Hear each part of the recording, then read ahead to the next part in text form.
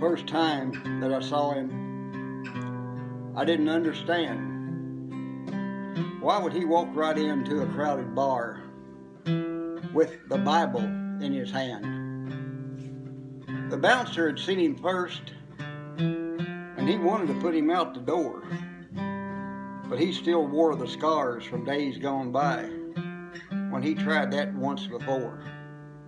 There was a time when he was one of their regulars, and to those who knew him best, a vicious barroom brawler, a drunk and demon possessed. In and out of jail, bound for hell, no hope beyond the grave.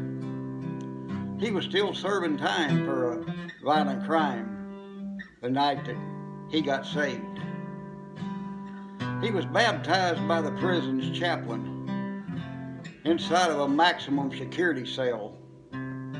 Two guards seen the change that God had made in his life, and they both got saved as well.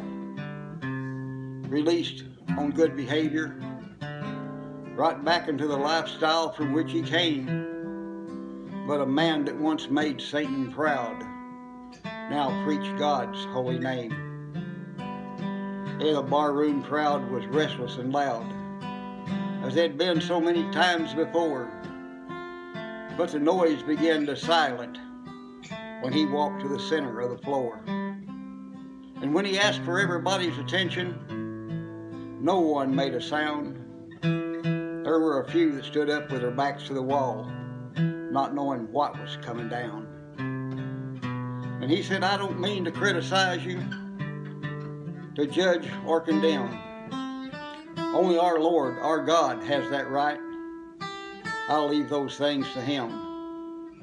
That's when he opened up the Bible and he drew a strong, deep breath and then began with the words, For all have sinned, and the wages of sin is death.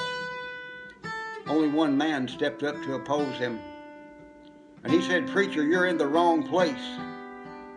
And he sat back down and said, I'm sorry, sir, when he recognized his face.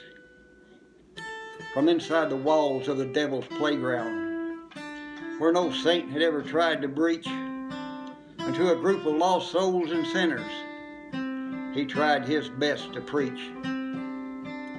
To the depressed and the addicted, and to those who lived in fear, so many had lost all self respect then there were those too drunk to care.